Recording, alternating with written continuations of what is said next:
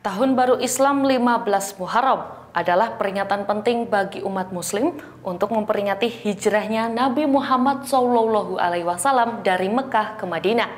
Tanggal 15 Muharram ini bagi masyarakat Jawa juga dikenal sebagai malam 15 Suro. Bulan Muharram memiliki sejumlah arti dan keutamaan sehingga umat Islam dianjurkan untuk memperbanyak amalan. Banyak peringatan yang dapat dilakukan untuk memperingati bulan Muharram seperti informasi berikut ini. Peringatan di bulan Suro menjadi tradisi sakral yang memiliki berbagai makna bagi masyarakat. Salah satu wilayah yang memperingati kedatangan bulan Suro ini adalah di wilayah Dusun Honggoroso, Kabupaten Magelang.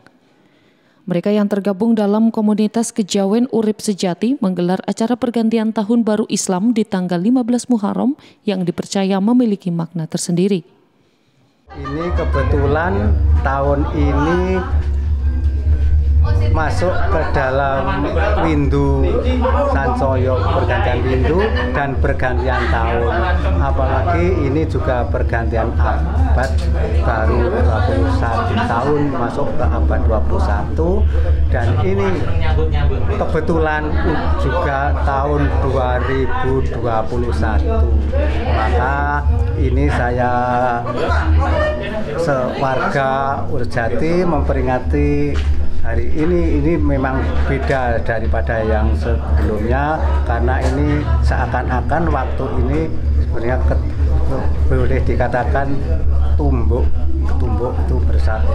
Maka semoga dengan adanya kita warga kepercayaan Palang Putih Nusantara Kejawen ini memperingati bulan Suro ini ah, semoga apa yang terjadi di Nusantara ini semoga bila mana sesuatu yang tidak baik semoga segera pergi dari bumi Nusantara semoga semua warga Nusantara semua tan ma, ma, ma, semua diberi kebahagiaan dan kemuliaan hidupnya.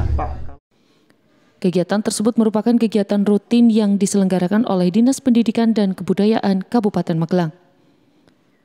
Kita dari Dinas Pendidikan dan Kebudayaan dalam hal ini eh, sebagai salah satu unsur pembina ya, bagi unsur-unsur atau para penganut penghayat kepercayaan pada Tuhan Yang Maha Esa pada hari ini kita hadir di Dusun Onggosoro ini di komunitas Kejawen Urip Sejati.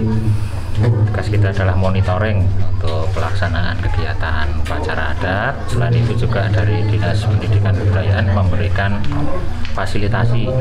Jadi ada fasilitas bagi pelaksanaan upacara-upacara adat yang dilakukan di Kabupaten Magelang dan sekitarnya dalam sistem kepercayaan, penghayatan kepercayaan menjadi benteng kebudayaan Jawa yang ada di wilayah Kabupaten Magelang.